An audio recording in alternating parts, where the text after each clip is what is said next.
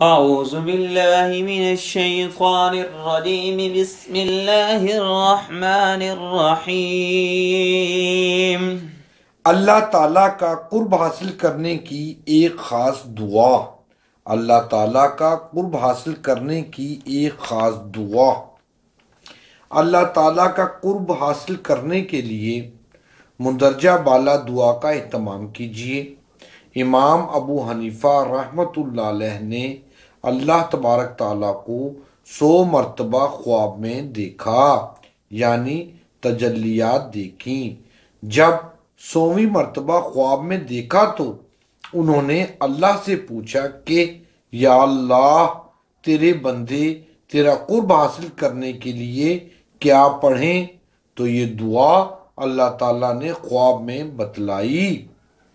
شامی جلد نمبر ایک صفحہ نمبر 144 مطبوعہ مکتبہ ذکریہ دیوبند فتاوہ رحیمی، جلد نمبر سات، صفحہ نمبر 106 اور 107 صبح و شام یہ دعا سمجھ کر پڑھیں اور مندرجہ بالا دعا میں جن باتوں کی نفی کی گئی ہے، ان سے اللہ کو پاک سمجھیں اور جن باتوں کو ثابت کیا گیا ہے ان کو دل سے مانیں انشاءاللہ قرب خداوندی حاصل ہوگا۔ انشاءاللہ قرب خداوندی حاصل ہوگا۔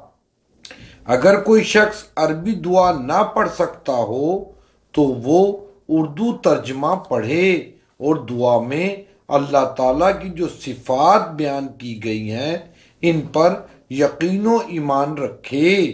یہی اسلام کی بنیادی تعلیم ہے اور یہی توحید ہے۔ بسم اللہ الرحمن الرحیم۔ سبحان الابدی الابد۔ سبحان الواحد الاحد۔ سبحان الفرد الصمد۔ سبحان رافع السماء بغير عمد. سبحان من بسط الأرض على ماء جمد. سبحان من خلق الخلق فأحصاهم عددا. سبحان من قسم الرزق فلم ينس أحد. سبحان الذي لم يتخذ صاحبة ولا ولدا. سبحان الذي لم يلد ولم يولد ولم يكن له كفوا أحد. پاکی ہے اس ذات کے لیے جو ہمیشہ سے ہمیشہ تک ہے۔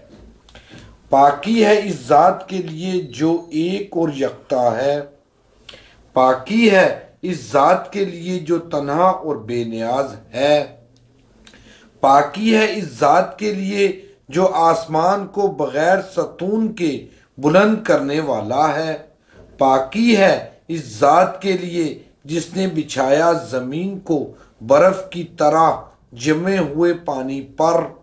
پاکی ہے اس ذات، پاکی ہے اس ذات کے لیے۔ جس نے پیدا کیا مخلوق کو، پس ضبط کیا اور خوب جان لیا ان کو گن کر۔ پاکی ہے اس ذات پاک کے لیے جس نے روزی تقسیم فرمائی اور کسی کو نہ بھولا۔ پاکی ہے اس ذات پاک کے لیے، جس نے نہ بیوی اپنائی، نہ بچے۔ پاکی ہے اس ذات پاک کے لیے، جس نے نہ کسی کو جنا، نہ وہ جنا گیا، اور نہ ہی اس کے جوڑ کا کوئی۔ اللہ تعالیٰ کا قرب حاصل کرنے کے لیے مندرجہ بالا دعا کا اہتمام کیجیے امام ابو حنیفہ رحمت اللہ علیہ نے اللہ تبارک تعالیٰ کو سو مرتبہ خواب میں دیکھا۔ جب سویں مرتبہ خواب میں دیکھا تو انہوں نے اللہ سے پوچھا کہ، یا اللہ، تیرے بندے، تیرا قرب حاصل کرنے کے لیے کیا پڑھیں؟ تو یہ دعا اللہ تعالیٰ نے خواب میں بتلائی۔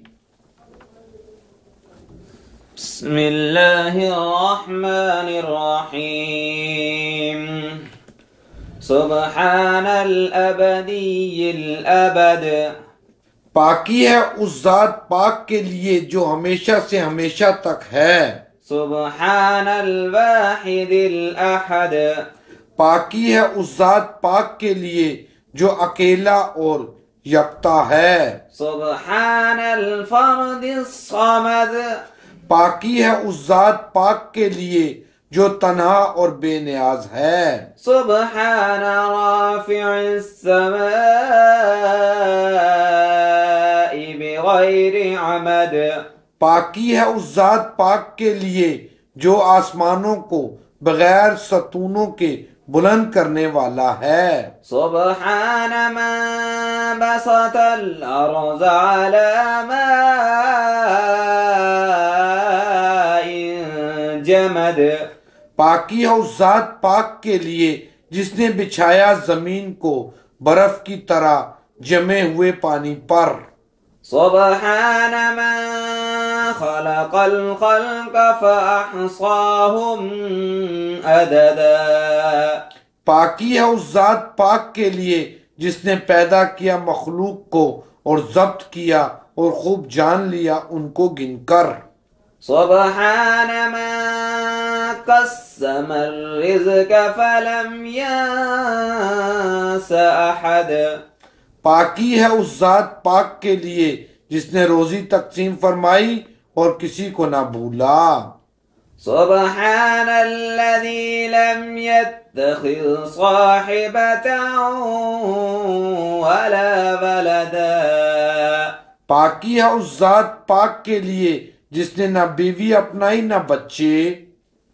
سبحان الذي لم يلد ولم يولد ولم يكن له كفوا أحد. پاکی ہے اس ذات پاک کے لیے جس نے نہ کسی کو جنا، نہ وہ جنا گیا اور نہ ہی اس کے جوڑ کا کوئی۔ مناجات عربی۔ يا رب إن عظمت ذنوبي كثيرة فلقد علمت بأن أفوك أعظم. إن كان لا يرجوك إلا محسن فمن الذي يدعو أو يرجو المجرم؟ أدعوك ربي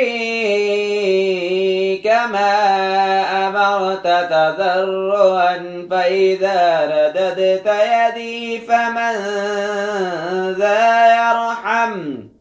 ما لي إليك وصيلة إلا الرجاء بجميل عفوك ثم إني مسلم۔ اے میرے پروردگار، اگر میرے گناہ بڑھ گئے ہیں تو کیا ہوا؟ میں جانتا ہوں کہ آپ کی معافی میرے گناہوں سے بڑی ہے۔ اگر آپ کی رحمت کے امیدوار صرف نیک ہی ہوں، تو گناہگار کسے پکاریں اور کس سے توقع رکھیں؟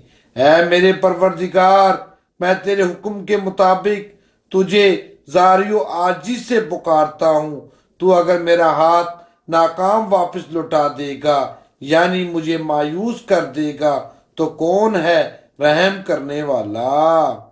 تو اگر میرا ہاتھ ناکام واپس لوٹا دے گا یعنی مجھے مایوس کر دے گا، تو کون ہے رحم کرنے والا؟ میرے پاس تو صرف، میرے پاس تو صرف آپ کے بہترین درگزر کی امید کے سوا کوئی سہارا نہیں۔ میرے پاس تو صرف آپ کے بہترین درگزر کی امید کے سوا کوئی سہارا نہیں۔ پھر بات یہ ہے کہ مسلمان بھی ہوں۔ بسم الله الرحمن الرحيم يا رب اے میرے پروردگار إن أظمت ذنوبي كثيرة اگر میرے گناہ بڑھ گئے ہیں فلقد علمت بأن عفوك أعظم۔ میں جانتا ہوں کہ آپ کی معافی میرے گناہوں سے بڑی ہے۔ إن كان لا يرجوك إلا محسن فمن الذي يدعو أو يرجو المجرم؟ اگر آپ کی رحمت کے امیدوار صرف نیک ہی ہوں تو گناہگار کسے پکاریں اور کس سے توقع رکھیں؟ أدعوك ربی کما أمرت تذرعا. اے میرے پروردگار میں تیرے حکم کے مطابق تجھے زا- زاری و آجی سے پکارتا ہوں۔ فإذا رددت يدي فمن ذا يرحم۔ تو اگر میرا ہاتھ ناکام لٹا دے گا یعنی مجھے مایوس کر دے گا تو کون ہے رحم کرنے والا۔ ما لي إليك وسيلة إلا الرجاء بجميل عفوك ثم إني مسلم۔ میرے پاس تو صرف آپ کے بہترین درگزر کی امید کے سوا کوئی سہارا نہیں۔ میرے پاس تو صرف آپ کے بہترین درگزر کی امید کے سوا کوئی سہارا نہیں۔ میرے پاس تو صرف آپ کے بہترین درگزر کی امید کے سوا کوئی سہارا نہیں۔ پھر بات یہ ہے کہ میں مسلمان بھی ہوں۔ آمین۔ اے اللہ، اس دعا کو میرے حق، میرے اہل خانہ، اولاد، تمام رشتہ داروں کے حق میں قبول فرما اور سننے والے اور پڑھنے والوں کے حق میں بھی قبول و منظور فرما۔ آمین۔ نو گیارہ سن دو ہزار چودہ۔ اللہ اکبر۔